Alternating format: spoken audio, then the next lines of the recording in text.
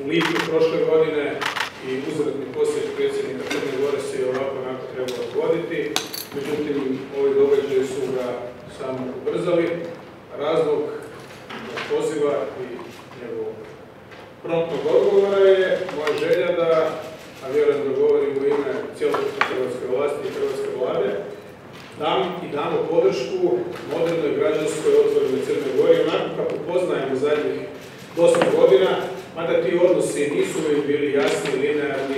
Crna Gora je sigurno od 1997. godine, kada je jedan događaj u Crnoj Gori, kojem sam osobno svjedočio iz kao mladi diplomat, mene naveo da se zapitam, možda je to drugčija država. To je kada je prosvjednike e, tadašnje socijalističke narodne partije e, pod utjecajem Beograda u maršu na Tuzi, to je jedno malo naselje istočno od Podgorice u kojem žive skoro isključivo katolički Albanci.